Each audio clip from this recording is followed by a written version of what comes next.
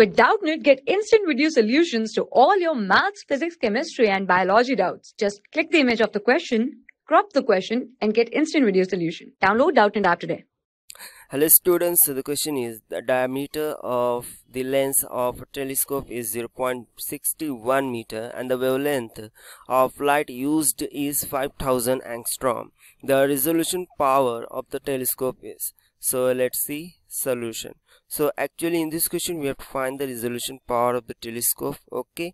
Now we know that the formula that is resolution power of telescope is given by resolution power of telescope is given by d divided by 1.22 into lambda. Okay where d is representing the diameter of the telescope and lambda is wavelength of the light which is used in the telescope. Okay now according to question we have the diameter of the telescope that is 0.61 meter that divided by 1.22 into wavelength of the light that is 5000 angstrom. Now angstrom can be written as 10 raised to minus 10 which go in numerator become 10 raised to 10 so it will become 0.61 divided by 1.22 into 5000 okay.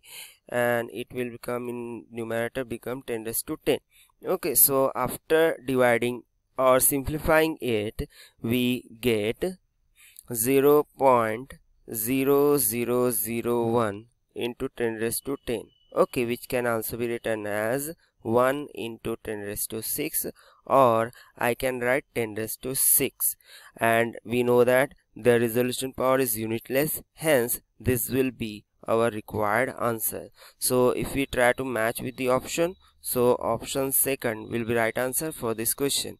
Thank you. For class 6 to 12, IIT JEE and NEET level. Trusted by more than 5 crore students. Download Doubtnut app today.